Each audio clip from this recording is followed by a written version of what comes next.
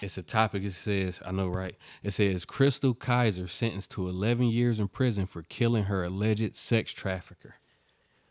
the 23 year old woman who shot and killed Randall Volar, the man accused of sexually trafficking her, was sentenced to prison. If you recall, the shooting took place in 2018 when Kizer was 17 years old. She shot Volar in the head, burned his house down, and stole his BMW.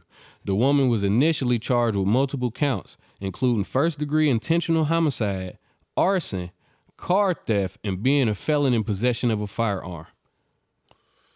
Kizer was sentenced to 11 years in prison and will also serve five years parole. Kenosha County District Attorney Michael explains the 11 years is minus 570 days because she has served those awaiting trial. Mm. That's ugly, man, right there, boy. This is your justice system. That's ugly. That shit is wild. So This is your justice system. what happened in this case to where they say this man is the alleged? Hmm. Why is it not concrete? Because like I need more details too. she ain't do that for nothing. And then she underage. You know what I'm saying? Going through all this, There's a lot of red all flags this here. bullshit. I'm You know pretty what sure- saying? Like, If she was being sex trafficked, if she was in the dealings of being sex trafficked, mm-hmm. I'm sure she wasn't going home every night to her parents. So I'm sure they can attest to the fact that their they daughter been gone. Mm-hmm. Her friends ain't seen her. Mm-hmm. Mm-hmm. That part.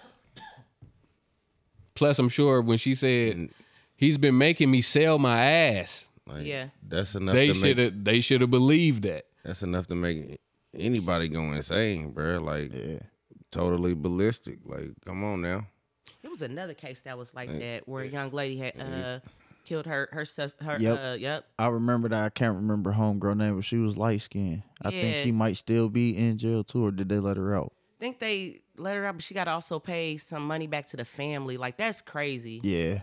I think it's just crazy because why, why how are we not like if dude's not here and there's like a bunch of red flags on the play, how do we just get to him still being innocent? Like then again, who is this man? Why do you have a, a missing teen, I presume, with a BMW in the house? Like Mm-hmm. why did she blow your brains out and then burn your house down? Like why was not blowing your brains out enough? I don't think That's- she that's deserved that time at all. do. She need she deserves some therapy for real. That's that's crazy. This is your justice system. Facts. Mm-hmm. Makes you wonder who they protected. And if that was a white woman, mm-hmm. she wouldn't have got no time at all. Mm-hmm.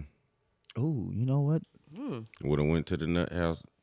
Listen to this. The puzzle factory. You feel me? It says it was later revealed by the Washington Post that both prosecutors and Kenosha police had evidence that Volar, who is white, had abused Kizer and other underage black girls. Mm. Just months before his death, a 15 year old girl accused him of drugging and threatening to kill her. Mm. According to the Post, and police had found explo- exploitive videos of Volar abusing girls who appeared as young as 12. What is she going to jail for? What? Yeah. What? If anything, the system failed her, Again, this is our justice system. and the mm. system failed her. This is some It's backwards failed ass shit. us. It's been failed. It never succeeded Hell, anywhere. Yeah, I'm about to say. It's bro. You know almost like like, it's almost like they protected bro, I'm trying to by a tell secret little like if it, That's failed on purpose. bro, I'm trying to tell you, man. You Yeah. can put Police you can officer.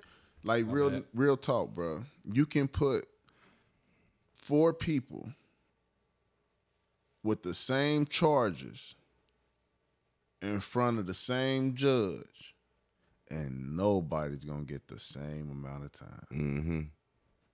That's crazy. Nobody. I've been in court and That's watched And niggas get booked for different. I mean, for the same shit, and they all like- did get the same shit. Like real talk, bro. I didn't seen a dude with GSI and and molestation or whatever. You know what I'm saying? Dude got two years probation, What's GSI? Gross sexual imposition. I was about to ask that mm. too. So is you pretty much exposing yourself Okay. to somebody? Let You know, They need to set about the it. standard for this shit. So man. you Like, for um, so it's fucked up. Like you can traumatize a woman, you can molest them, you can rape them, traffic them, you can traffic them, Yeah. and get no time. Yep.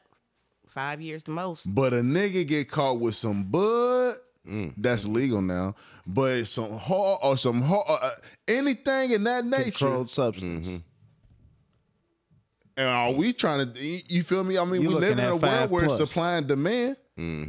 You feel what I'm saying? Exactly. And a lot of people don't come from a, a, a, a background of where they can have any type of substantial resource to survive. So in other Yeah. words, But you get Yeah. bagged and taxed for that shit a long time. Mm-hmm. But a nigga that go around and taking some pussy, so in other words, say for instance, the dude was still alive and he got caught. How much time would he have gotten versus her For sex the, trafficking? Killing the sex trafficker.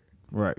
but who's to say he'd have got? crazy. Who's to That say he'd have got caught? I'm just saying hypothetically. Let's because yeah, I'm bouncing off of what you were saying. Hypothetically, if he did get caught, he Man, would have got way more less he time going, than, than he her going to her the 11. feds. He'd be home in like ten to fifteen. That's funny that y'all say that.